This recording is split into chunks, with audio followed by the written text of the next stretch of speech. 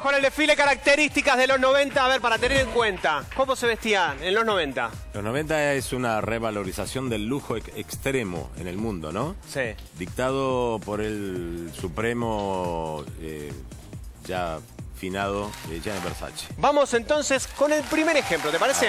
Arrancamos con las chicas, arrancamos con el desfile. El primer look, Roberto Piazza, ¿de qué se trata? No, Mayrana, acá podemos ver, ¿ves? El, el look de- del pantalón palazzo, Sí. transparente. La, la ropa se usaba totalmente eh, sexy, erótica, o muy apretada o transparencia absoluta. Y el pañuelo que ves es un estampado Versace tradicional, es original, luego recamado en oro.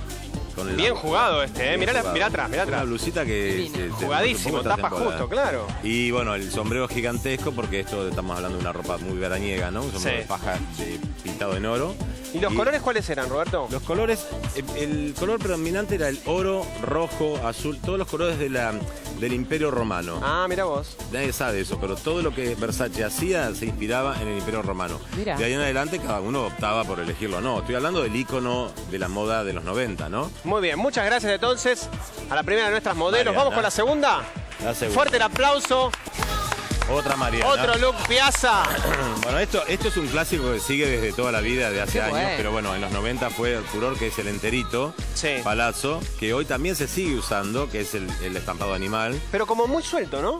Claro, más suelto, más, más, más, más del pantalón de mucho movimiento, de sea natural, que a la mujer adora esto. La- cualquier mujer que está mirando en este momento esto dice, yo me lo pongo hoy. Sí, se lo Y pone mucha hoy. cosa de la demostración de, de- De de ob- dinero, de mucha ostentar. Exacto. Este Roberto es el que se le llama el monito, el mono. El Eh, no, ¿viste? no, no, no. Esto es el enterito. El, mo- Enterito. el- el mono es otro tipo de cosa, es más, es más una cosa menos sexy, menos femenina. Me voy a sumar acá. Eh, Venga, esto es un palazzo con eh, pantalón italiano, con gran pata, la pata de elefante Ajá. enorme. ¿Y los zapatos, Roberto, cómo eran? Los zapatos eran taco muy alto, con esto. Sí. No, no, no había, ah, no tan alto como ahora. Sí. Pero era una cosa así, un zapato casi tradicional.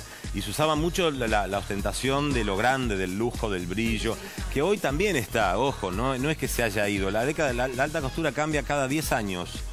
Da un pequeño giro, no cambia todos los años como No cambia tanto la alta costura. No, la alta costura cambia cada 10 años. El preta por cambia cada 365 días porque se tiene Claro, que vender. claro.